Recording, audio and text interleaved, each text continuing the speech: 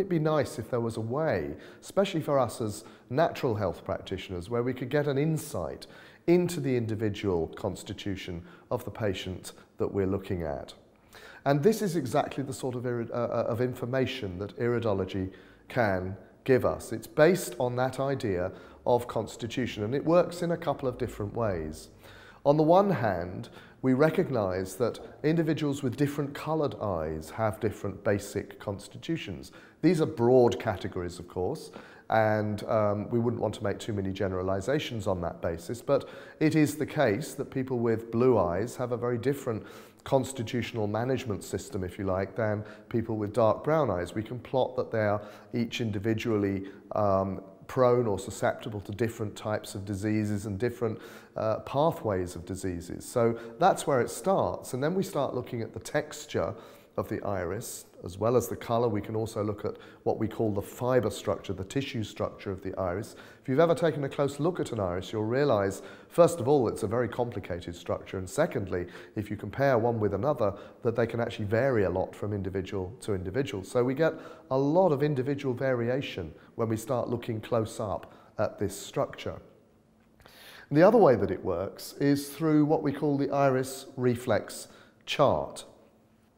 There's a very simple version of the iris reflex chart up on the screen here at the moment, and you can see um, by the writing on the chart that it describes the placement of various organs. The reason why we call it a reflex chart is the old idea was that there was some kind of reflexological connection between zones in the iris and the organs in the body. This remains to be proved, but it has been the case that many uh, iridology researchers have noticed distinct correlations between markings appearing in certain locations in the iris and the appearance of disease within the human body. For the last 160 years or so, um, iridologists have been making these observations and working towards what we call the reflex chart. This is a very simple version. As I've said, there are much more complex versions uh, available. But now we come to a, a situation where everyone pretty much agrees, all the iridologists in the world have come to very similar conclusions about these particular organ positions, as we call them, and it enables us to make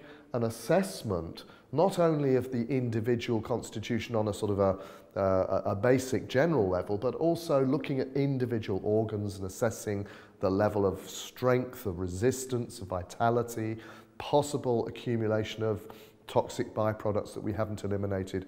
All of those things which might be crucial to indicating why one person gets a disease and dies of it and the next person comes through with no problems at all. So this is really what we're doing here. We're performing an individual analysis. Um, the theory of iridology runs very deep. Uh, there's a lot to learn. Uh, but at its simplest level, it puts something into the diagnostic method, the diagnostic process, which perhaps other diagnostics don't. It allows us to look at each individual in a truly individual fashion. The iris is considered, it's actually now known, to be a genetically derived pattern. And as such, of course, it's going to tell us about our individuality. So I hope that uh, you'll join us as we research this uh, subject in more depth and get to know how to use it to add to our naturopathic diagnosis.